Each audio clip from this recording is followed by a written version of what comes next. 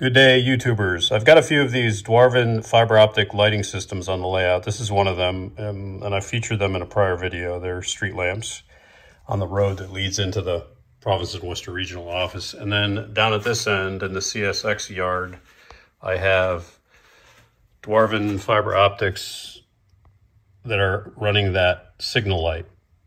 There's a Iowa Scaled Engineering train sensor that detects when there's cars in the building and it turns the light red and then when they come out it turns the light green. That's that light is scratch built but it's being it's being lit by fiber optics underneath the layout. And then also the lighting inside the building. So there's some details on the inside. That's fiber optics. So it gives a nice it's hard to see it now because it's bright daylight and the sun's coming through the garage window here, but there is lighting in that building done with fiber optics. So the next thing I want to do using this Dwarvin fiber optic system is put in these dwarf signals. So you can see there's two fiber optics going into each signal, one for red, one for green, comes in a pair. And I want that to go here um, for this turnout that goes to the main or off to the siding which I currently have hooked up to a Blue Point switch machine. So the circuit that drives these fascia lights will also drive these red and green. So there'll be one as you're approaching that turn out from this direction and one as you're approaching from this direction. And the circuit that they have for this is, is or what I'm, what I'm gonna use, and I'll explain why and how. This is actually their block detector or railroad crossing uh, circuit. Could be used for either by putting jumpers on it. So you you use an Iowa Scale Engineering infrared sensor. That's what they that's a, that's what these come with, um, and that detects the train. And if it's set for running a signal, it'll it'll light up one of the two LEDs that drive the fiber optics. So if it's a red-green signal, for example, it, you cover that signal, the, one side will go that drives the red. If you unblock the signal, it'll flip over to green. It'll light the other LED. And you could put either color into either slot. And I think each slot takes two, if I'm not mistaken, two, maybe three fiber optics. So it's good for a, a crossing signal um, where if it's blocked, you want it on. Um, not so much a block signal because with a block, you want to cross it and then it stays red until you cross over it again. In this case, it has to be covered using this particular unit. And where it, where it worked for me uh, on this layout is over here where um, I showed you earlier in this manufacturing plant facility. Um, if the car's are out of there and there's a time delay for it to go to green. It goes to green. As you're backing in, you'll know when you're in far enough so you don't hit the, the back. It gives you a little more room to go. It'll turn red because it's covering up that Iowa Scaled Engineering, Iowa Scaled Engineering photosensor uh, or uh, infrared sensor. And this is the, the box that I had in my hand. So you can see that there's an LED that drives the fiber optic for the red, which is on now, and then one for the green. So when you uncover that infrared detector, it'll, it'll go from the red to the green. So what I'm gonna do over here though, because I want it to be driven by this switch machine, basically it has a double pole, double throw switch on it. And that's the Blue Point switch machine that I showed in, a, in an earlier video. And if you're aligned to the main, it's green. If you align to diverge into the siding, it goes red. And just using that same circuit, I want to make these go green and red. So what I've done is, um, I'm not sure trains would approve of this. Uh, would certainly ruin your warranty. But I, I got I got this with the other one that I showed you on the manufacturing plant And this one was bad. Uh, it was just a bad connection in the um, in where the plug goes in. So there's a power supply that goes in there.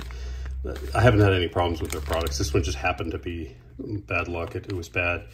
So I decided um, they replaced it immediately when I, said it was bad. So good service for sure. And so what I decided to do is I don't like to waste anything is go in here and you'll, you'll see how this works now. There's, there's small but very bright LEDs and that's what drives the light through the fiber optics. And it's got this little piece here that sits on top of the LEDs.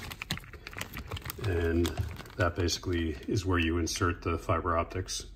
One for the red and one for the green. So what I'm going to do is I'm going to I'm going to hijack this circuit board because I just need the LEDs. They're going to be driven off of the double pole double throw switch that's on that Bluepoint switch machine. So I don't need all the electronics, but the LEDs are there already and the structure of this box allows me to insert the fiber optics for those two signals. So here's what I've done to make this work. I just use these inputs, which are normally used for the train sensor, the infrared sensor. Um, I'm gonna have them just feed power into the LEDs from that double pole, double throw switch that's on the blue point turnout. So I've, I've, made some jumps here on the circuit board. I don't need any of these um, electronics. So I've got the red feeding into the positive side of the LEDs. And in this case, they have the positives going through resistors, um, feeding both of the LEDs. And then the, the negatives I have going, one, one will uh, power the LED for the red and one for the green. The colors of these wires don't necessarily match that. That's what I had. So red, I just want to make sure red represented positive, so I knew what that is. And then the other two are negatives. And it, it doesn't matter because you, you can make either one red and either one green. So um, basically, I'm just lifting the circuit, the LEDs circuits for those LEDs. And to do that, I had to make some cuts um, to break some of the other connections because it was doing some weird things because it was feeding into the, um, the chips.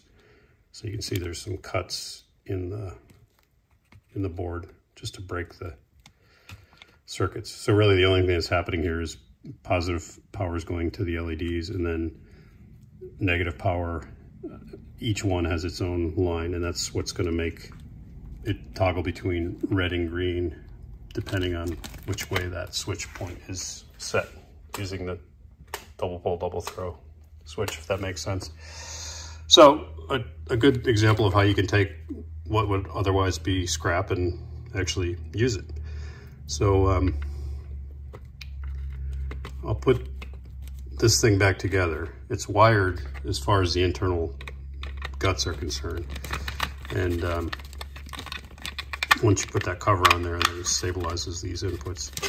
And then I'm gonna put it under the layout and I'm just gonna wire this to the double pole, double throw switch on the Bluepoint, and then it's gonna feed into these two signals. And it should work just by pulling this lever here, just like these LEDs change. So yeah, they do have, um, Trains does have a a unit that is smaller than this that is meant to be hooked up to a switch machine so that you can do what I'm doing here. Um, but again, I'm doing this because I had this circuit board laying around, so not recommended, but just uh, I thought you'd find it interesting of how you can take something that um, doesn't work and use it for something else where it does work. So let's get this thing hooked up and I'll show it to you.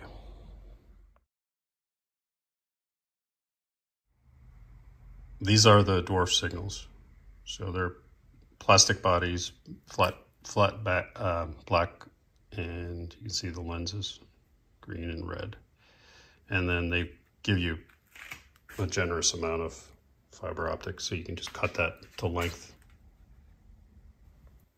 All right, so it's all hooked up. I've wired the, um, the power off that Bluepoint switch, and you can see that through all the tangle of other wires. You can see that LED driven fiber optic box. There's two fiber optics coming out of each side. Red and green for each of the lights. And if we come up here, as I move that turnout, now it's aligned to the main, now it's diverging to the siding. And these correspond to what I do with that switch. So you get red, green, and on this side, even though this is kind of hard to see, just for authenticity, I thought I'd have one on both sides of the of the turnout. Line for the siding, a line for the main. And it's a, it's a nice bright light, honestly, for um, fiber optics. You get pretty good brightness coming through.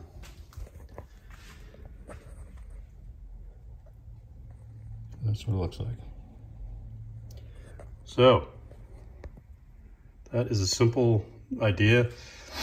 Obviously, if you're going to do this, I'd recommend just getting their module that is driven off the uh, switch machine. But I had an opportunity to use that extra electronic board and it works. Hope that was interesting. Hope it was useful. Have a good day.